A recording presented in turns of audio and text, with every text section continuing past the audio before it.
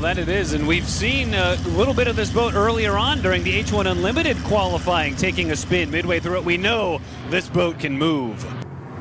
Yeah, watch David up here. See what he does. He's got the other three boats coming down the front straightaway. David's starting to leg it out a little bit. I thought he might. He's going to run up and just catch him. But this is going to be something special. Michael McDonald, take him away. You got three right in your lap.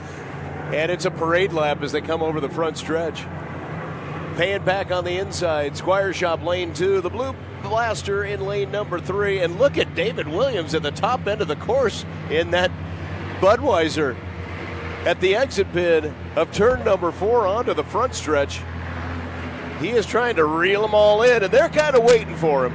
That's exactly what they're doing, Michael. They're waiting for him. He's also showing us that 109 mile an hour lap today was very He'll slow down now as he pulls up You were talking about a photo op. Now the other three boats see him to their right and on the outside. Lane number one is the Pay 'n Pak. Lane number two, the Squire Shop. Lane number three, the Atlas Van Lines. Lane number four, and on the outside, the Griffin Budweiser final heat time of the 1981 Columbia Cup. Those four boats were all in it. Look at David Williams, Derek. He's right out Oh, that is talk about living life right on the edge. He's got to be within maybe three feet of that buoy, trying to take it now on the outside as we got some racers here jockeying for position. Looks like some movement in the middle there, lanes. Wow. Absolutely incredible on the Griggs backstretch. Takes your breath away, What, doesn't it? what an amazing sight.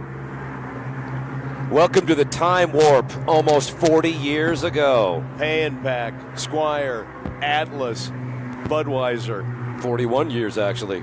You could throw a blanket over them. They are deck to deck to deck to deck as they come up into Shell Sun Market, turn number three at the top end of the course. White Be a- flag. Be a beautiful sight to see them as they come around the apex into White's finished furniture, turn number four. Our Buffalo brother friends up at turn number four, too. Get your cameras ready. And there it is. There's your photo. That and the upside down Red Bull helicopter. Get the cameras out as they come to the John Mosteller Memorial start finish line. Pay 'n Pak, Squire, Atlas, Bud.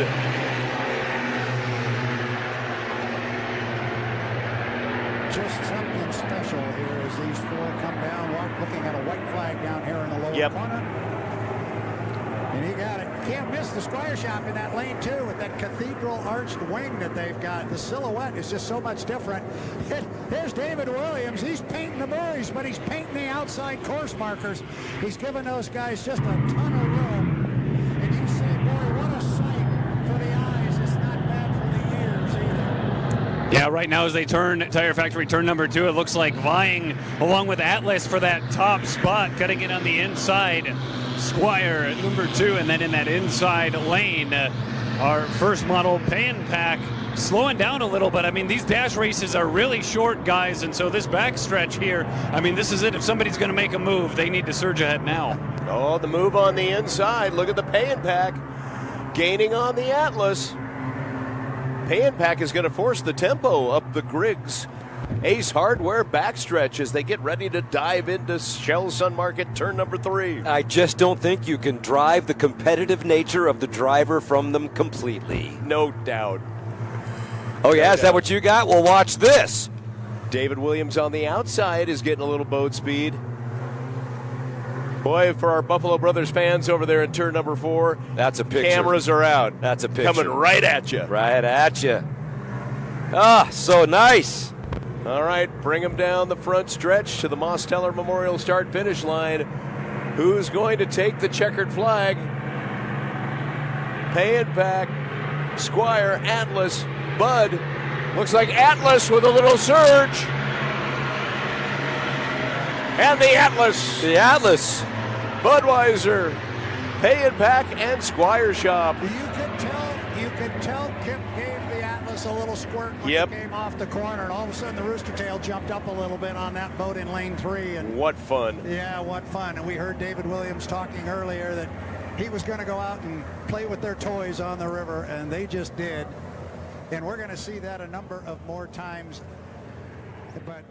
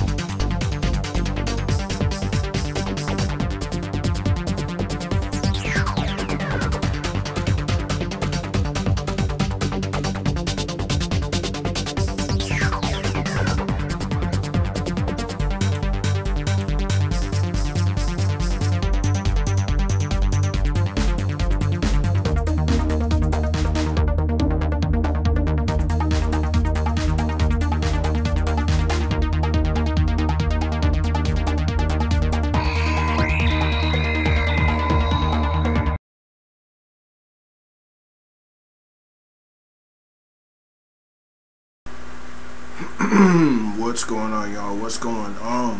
What is going on? It's your boy, Seattle Rick 206, aka that boy Rick, aka they call him Slick, aka H1, Hype Man Rick 206, aka 2D, Hydroplane Game Rick, aka Rooster Tail Rick, also known as Rick McQueen Jr., lead promotions for Hydro 2D, the racing game. I appreciate you guys. Please share the video. Share the video. Those that will be watching this on YouTube, please like, share, and subscribe. Like, share, and subscribe. Team Hydro 2D and your boy Rick about to take you for a ride. we about to just get on into it. Y'all seen what was going on on the screen. We had the vintage hydros going. We got the Miami feel to it. Let's get it. Straight to the racing, y'all. Straight to the racing. I appreciate y'all.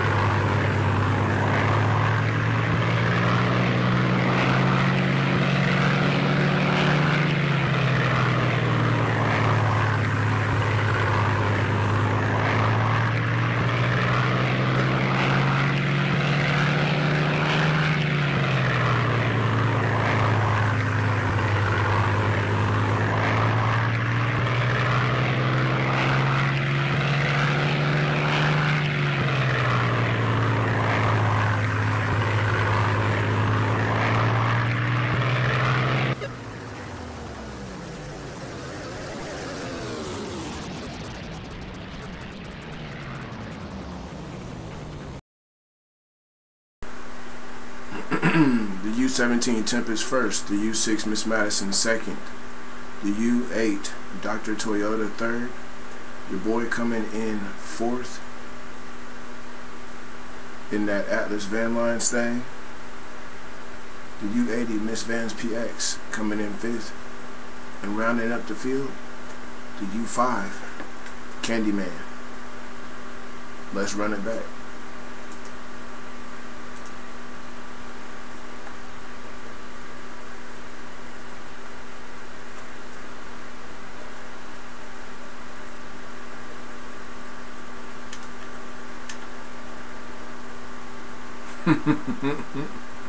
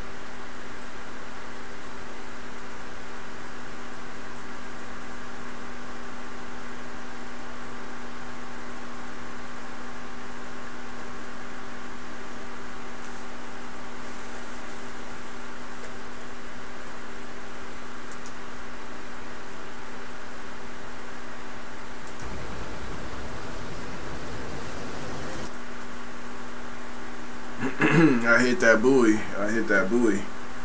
That's why we slowed down in that Atlas. U17 Tempest first. U5 Candyman second. U80 Miss Vans PX third. U8 Dr. Toyota fourth. U6 Miss Madison fifth. And your boy coming in sixth in that Atlas. Yeah, we hit that we hit that buoy. We had to we had to slow down. Let them go on around us.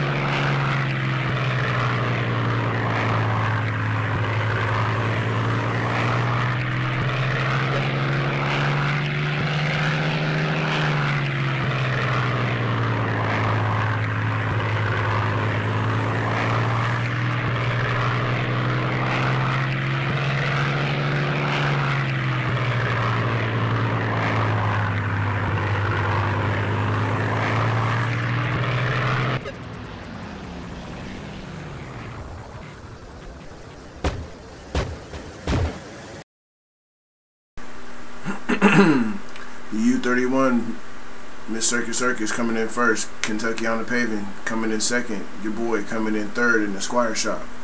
Coming in fourth, the U8 Dr. Toyota coming in fifth. The U6 Miss Madison coming in sixth. Rounding out the field, U5 Candyman. Let's run that back. Let's run that one back.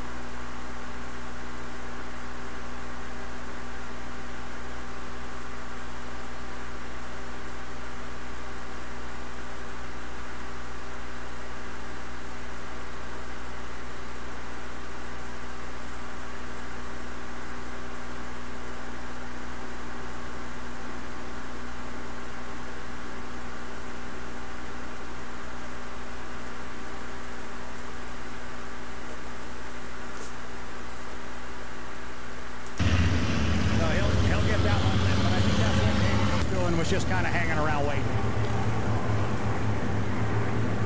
And again, swimmers, waders, we need you out of the river up on the shore, please.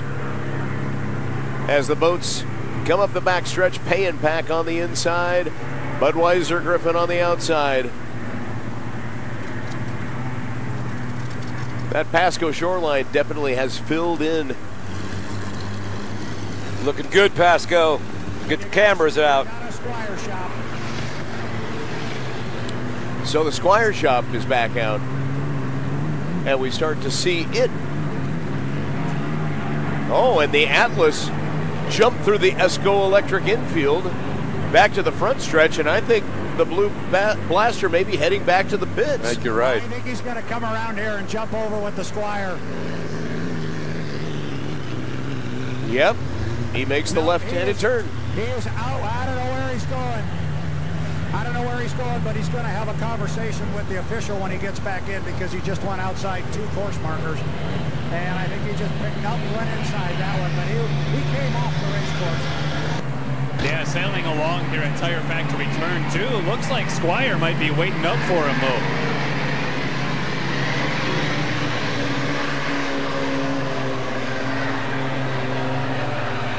Coming down the front stretch. Budweiser on the outside, Pay 'n Pak on the inside. Squire Shop on the backstretch, trailing the Blue Blaster that did a funny kind of an S turn down around the bottom end of the course and went outside the course marker. I believe that'll get him a conversation with an official. Just a quick, you know, just a quick one. It's like, what was that? what what'd you do? So the boats are equidistant on both ends of the course.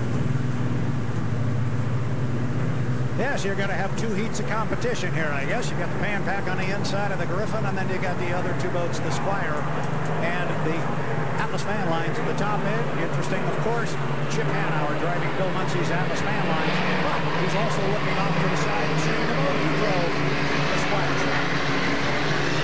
And Chip really puts his foot into it as they come across start finish. Starts to pull away a little bit from the Squire shop, and now the Squire shop on the inside, feathering the throttle, coming down the front stretch, and it's deck to deck racing as they head into All Doors Incorporated turn number one.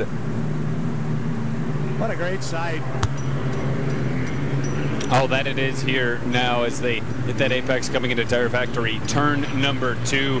That arch wing, that horizontal stabilizer on Squire Shop really stands out. Such a cool looking vessel as it looks like Blue Atlas coming real wide out of that turn, sticking to the outside. But now, as they hit this back stretch, showing a little bit of speed, got the rooster tail going and uh, jumping ahead here by a couple boat lengths as they head down the Griggs backstretch. Back to the front stretch. Budweiser on the outside, Pay 'n Pak on the inside. Great photo opportunity both sides of the river right now. That's a great shot on the backstretch with the Atlas on the outside and the Squire inside. Love the equidistant action of the two boats on the Yep. one and the other two. Probably before this is all said and done, they'll all hook up and do the four-way like they did yesterday. Well, we hope so, Let's hope so. For uh, you know, photo opportunity's sake, uh, to have these four boats together at the same time is really extraordinary. It really is. Back over to Tire Factory turn number two. Have a chance to see the Bud Pay 'n Pak over there. And they're onto the Griggs backstretch to the Mosteller Memorial start finish line with a white flag out. Chip Hanauer in the blue blaster. Atlas Van Lines on the outside. Squire Shop inside, and they are deck to deck as they head down to All Doors Incorporated turn number one. Yeah. Squire Shop with that distinctive cathedral arched horizontal stabilizer. Back up at the top end of the race course, you've got that winged Pay 'n Pak quick start. It ain't good enough to be good at one thing. Story about that boat. when the boats were built back in the day, when they would come out, the boats would not be good right out of the box. That was extremely rare. And there was a lot of innovative stuff done with that Pay 'n Pak. Well, they took it down to the Miami Marine Stadium for the first race of the year in 1973. The course record was 112. Mickey Remund put the Pay 'n Pak in the water, ran a lap just a tick under 120. And everybody went, wow. That's incredible. And that Miami stadium was built just for hydroplane racing, just for boat racing. It, it's amazing. There's been talks about a possible comeback. I wonder if that'll ever happen, Brad. Well, it might happen, and you're exactly right. It was built for boat racing. The only problem was the boats got too big and too fast for that race course as far Oh. as these boats. Um, we've had a couple of boats not be able to hold a corner on that race course and end up on the beach. and that, that's not a good thing.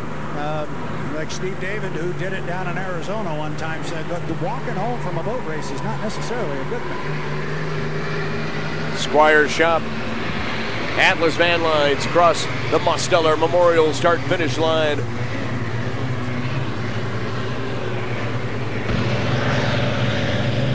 On the backstretch, final pass. Budweiser paying back, and they are deck to deck. Certainly seems that way. Maybe less than half a boat length in between the two.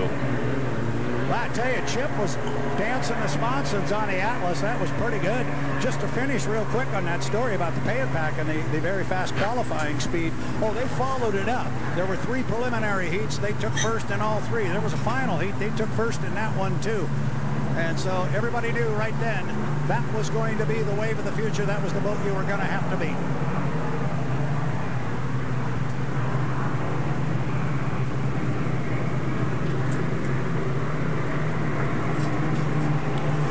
So back to the top end of the course and off the exit pin of White's Finished Furniture and Hardwoods, turn number four. Budweiser and the Pay 'n Pak. And a photo finish across the Mosteller start finish line. Too close to call. Just amazing. It's a heater. And two more coming out of turn number four. And hello to our Buffalo Brothers friends up at turn number four. Love how they're doing this. The two and the two. Yesterday was the four wide. Probably back to another four to op, four wide tomorrow. And Chip Hanauer is going to lead across the start finish line by a boat length. Over the Squire shop. And a final pass down the front stretch. And they'll head back into the Neil F. Lampson pits. And the only right hand turn, turn number five. Summit funding as they head back to the pit area. Perfect exhibition for the Hey, Unlimited Bills. Yes, Brad. From down here, we got John Watkins, who uh, we did not know who was behind the wheel of the Squire Sure. shop. It's Don, John Watkins, who is very much involved with the Hydroplane and Raceboat Museum, the restoration of this particular Squire. And this was a little bit of driver training for him. He has driven the Squire before since they've christened it, but he's never driven it alongside another boat. That's why he was on the inside of the Atlas Van Lines. And what better guy to lead him around the race course than Mr. Hanauer and the Blue Blaster. So I'm sure John is pretty excited. He got to go side by side for the first time.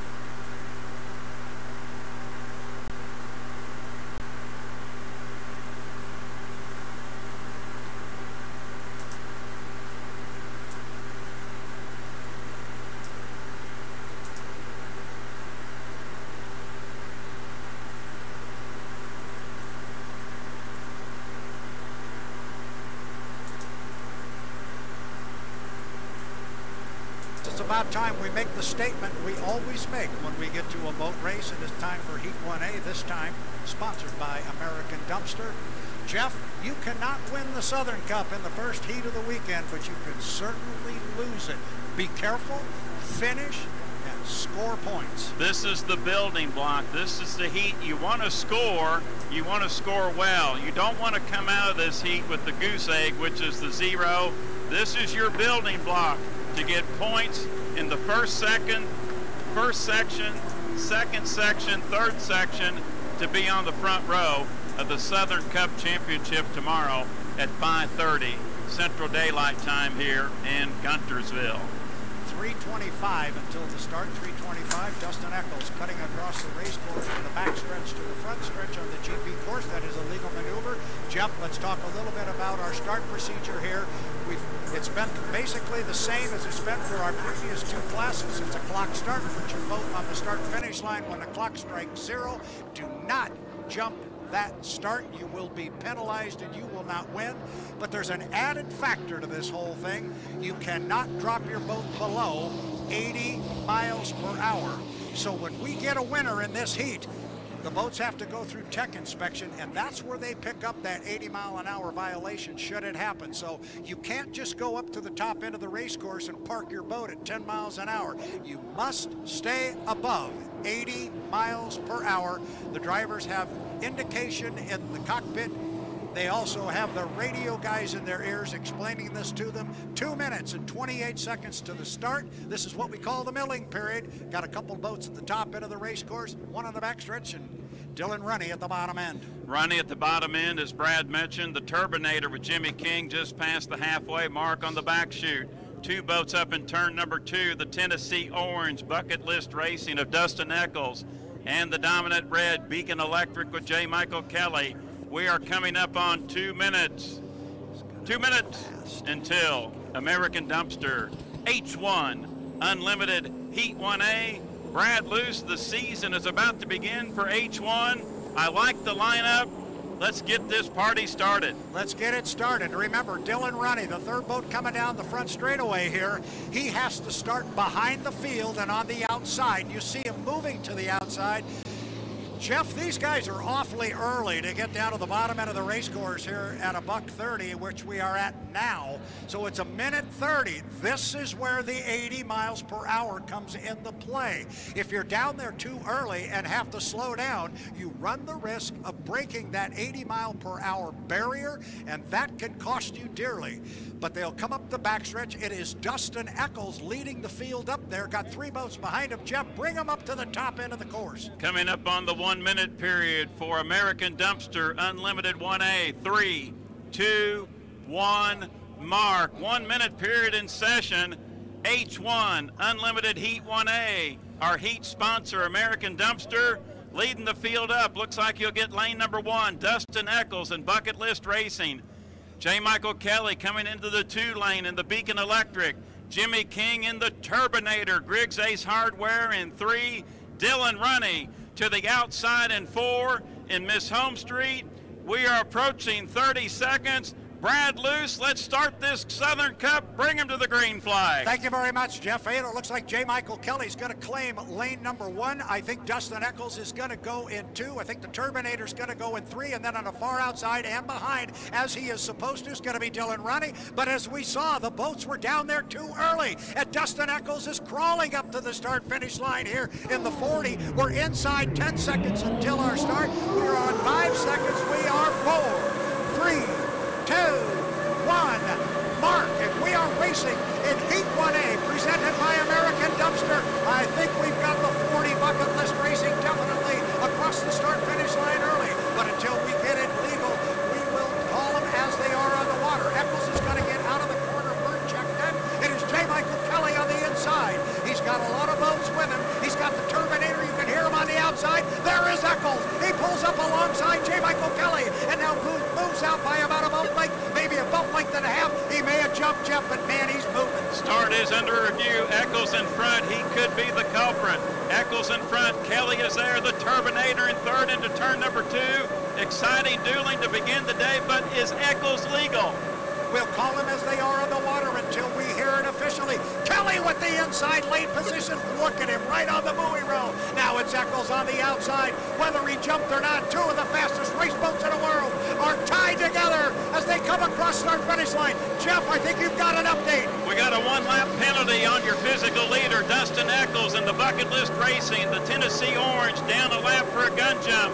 So your leader is the dominant red boat in turn number one, J. Michael Kelly in the Beacon Electric. That moves the Turbinator, the turbocharged Allison up to second, Griggs Ace Hardware, Miss Home Street in third, Echols physically in front, but in fourth. Yeah, he's in fourth place, so your leader is J. Michael Kelly, the red boat up the backstretch. That is the Beacon Electric. And if we have that information, so does J. Michael Kelly. That's why you see him letting the orange boat go. Let him go. That's not who he's racing against. However, in his right side rearview mirror, as Jeff calls him the Terminator, the U3, the Ace Hardware, he is trying to make a move. Coming up on the outside of J. Michael Kelly. Dustin Echols will come down. He will be our leader on the water, but he's actually running it forward. But Jimmy King is making a move, Jeff. Brad with Echols getting that one lap penalty. He has come toward the inside, and Kelly's had to go outside his wake. Your official leader. Here comes the turbocharged Allison charging on the outside. This one is not over. American Dumpster, Unlimited 1A. It's the two Tom dominant red boats. Kelly, your leader.